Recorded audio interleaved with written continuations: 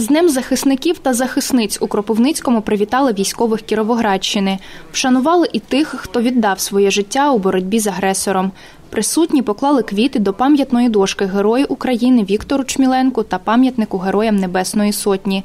На честь свята погасили нову марку під назвою Слава ЗСУ. Під час урочистостей представники влади міста та області нагородили військових орденами та почесними грамотами.